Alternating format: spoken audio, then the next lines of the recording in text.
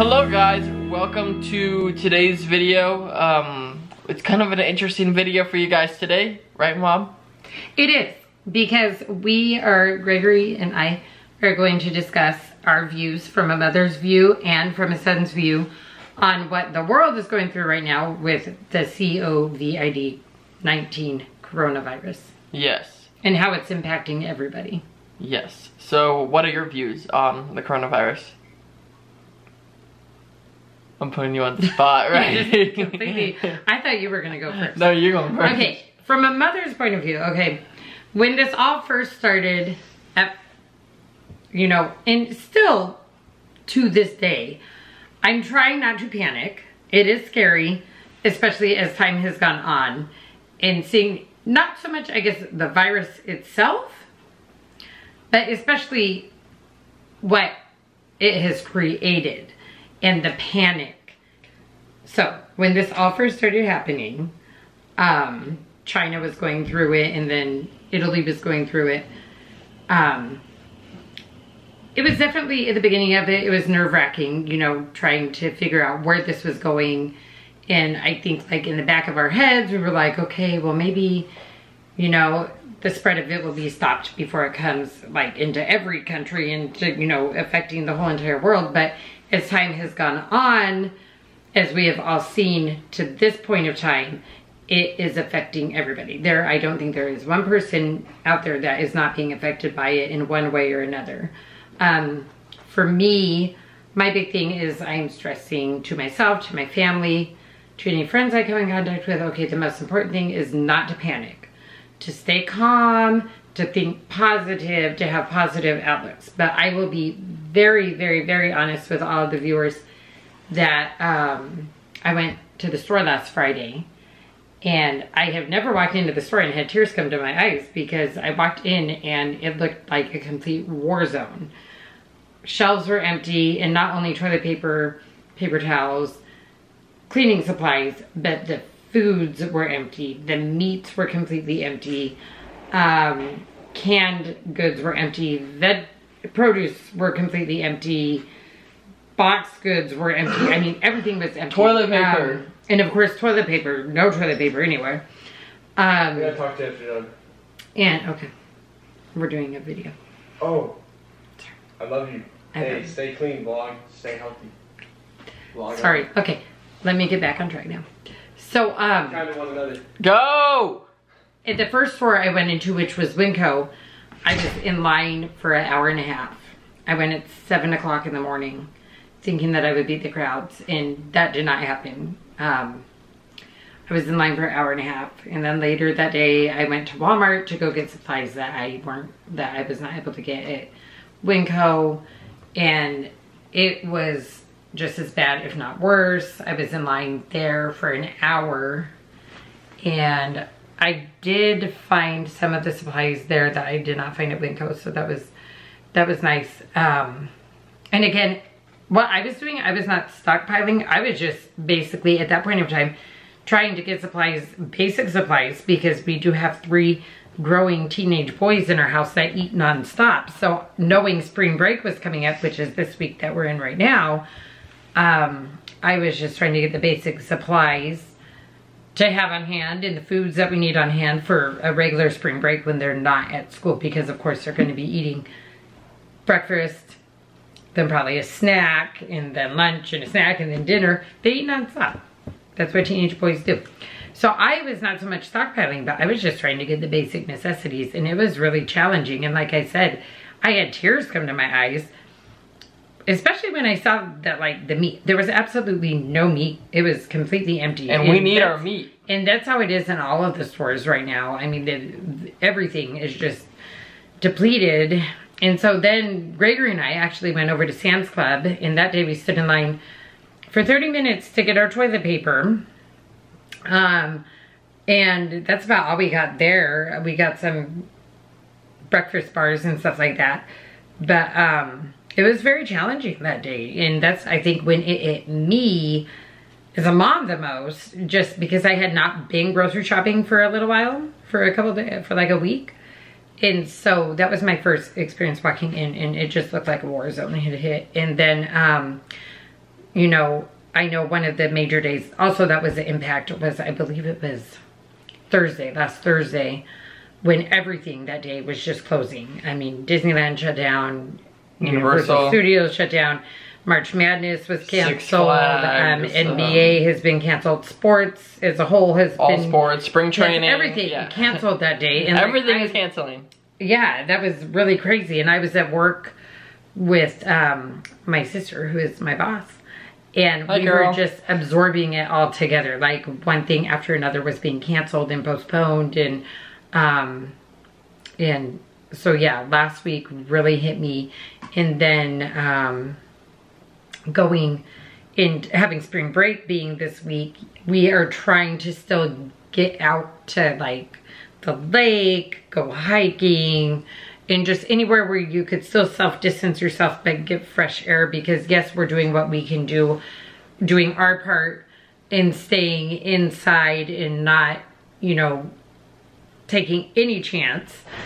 And um, but at the same time, it's equally as important for everybody's sanity to get fresh air. To even if it means just go in the backyard for a little bit, go play basketball in the front yard, or get out and go do hiking. It's very advantageous to everybody that we all still get fresh air and vitamin D. Everybody go outside. Um, and then we're just, like I said, this week is spring break. School has been canceled. I don't know how long. I have a feeling, which also, coming from a mom's point of view, is a huge stressor out. Because Gregory is supposed to graduate. I just want to graduate high 15th. school. And at this point of time, it's very sad, but I have just a gut feeling that that is probably going to be canceled or postponed. I just want to And graduate. it's really guys. hard because I just, I mean, I'm already planning, and of course we'll still have his party and everything, but I'm already, you know, planning, you know, party and celebrations, and he is approaching the fun time of his senior year. The last few weeks, he has what, about eight weeks? Yeah. um, about eight weeks ago. But you know, once they get past the testing, a lot of fun senior activities, and because of this, he is not going to get to experience that. So I'm I'm hoping there is some way that they will go back, and that they will have a graduation ceremony. But in reality, I I And kind of have my doubts that that's going to happen. There's a chance that school may be shut down for like eight weeks or for the rest of the school year. Yeah, yeah, which is really scary. And so that's going to be a whole new thing next week when they do actually are supposed to go back to school because then their district will be releasing the plan if they're going to do online schooling or what the plan is. And so I'm doing my part to come up with a good schedule for all of the boys to go by, including study time and of course downtime, a little bit of downtime, but then I'll, you know, doing life lesson activities and get them more involved with like the duties of the house. They do their basic chores, but more getting them involved since they will have the time of doing duties that they usually wouldn't take the time to do. And um, then one last thing in regards to myself, and then I'm going to hand it over to Gregory. Oh, and boy. He is going to say how he is viewing it from his point of view. Um, from a work standpoint, I actually work in the event industry and um, I am an assistant event coordinator for corporate events. And um, we have been greatly impacted. Like in one week, all of our events were either canceled or postponed. Um, we ha- about, I won't say all of them were because they were not all, but I would say like 90% of our events were canceled or postponed. So now we are moving forward, um, just keeping the clients that we do still have very happy and working with them behind the scenes until we could, you know, going virtual with a lot of meetings and so forth, so on. So it greatly impacted. Um, thank God, Dad, not my dad, but Greg's dad, Dave. Grandpa. What? he is not a grandpa yet. Not yet. Um, thank God his work is still up and running, and um, as long as Home Depot stays open, he'll still be able to work because he does the vending in Home Depots. So as long as they stay open, his job should be okay. So we're really hoping and praying that that will stay situated. Um, but you know, it's just shocking. Like I said, there's not one person that is not being affected by this, and our thoughts and prayers go out to everybody who has lost a job, whose hours have been cut back drastically. Um, you know, this is constant change. Um, we our thoughts and prayers go out to all those who have lost loved ones due to the virus, who are ill due to the virus.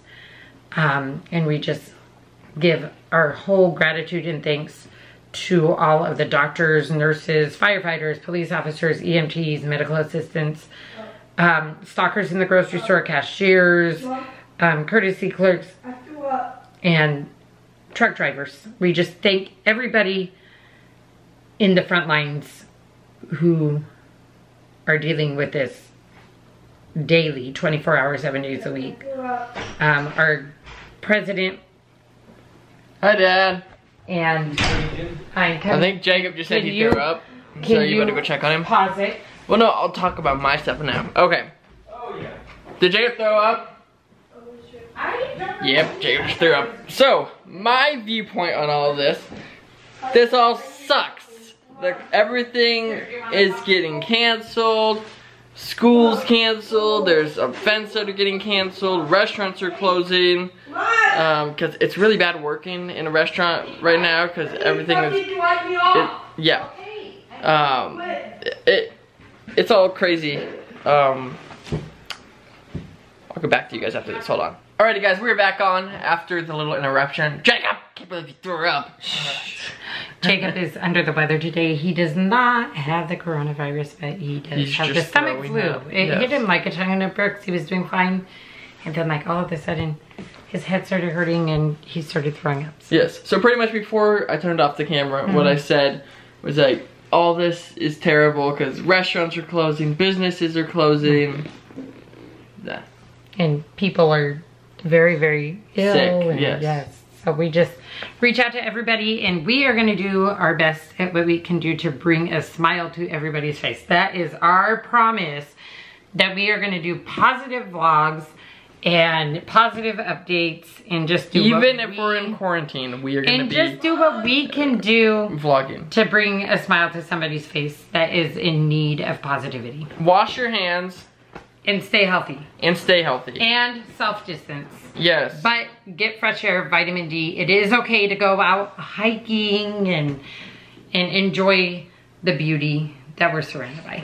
Yes, and you guys can still watch YouTube. That doesn't mean you can get away from YouTube. Still watch YouTube, because I gotta go check on Jacob. you I gotta go Jacob and Jacob. So Gregory's gonna finish. Yes, so you guys can still watch YouTube. But with that, I'm gonna end this video. I hope you guys enjoyed our little like Corona voice.